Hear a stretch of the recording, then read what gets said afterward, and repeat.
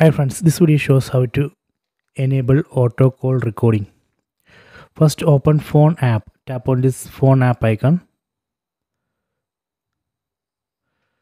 Then tap on these three dots. Then select settings.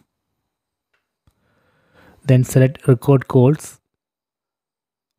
So here we can see auto record calls. First we have to enable this. Tap here and enable auto record calls next i am going to show you more options available uh, for uh, record calls.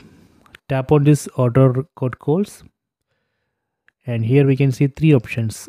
All calls. If you select all calls it will do auto call recording for all calls.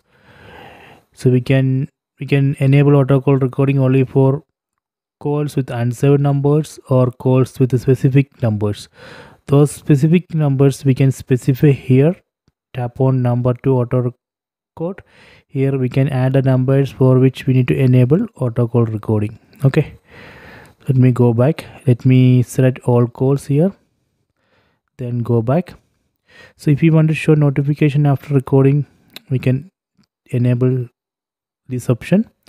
If you want to see all recorded uh, calls we can tap here recorded calls it will open my files app. Here we can find uh, recorded calls. Let me go back.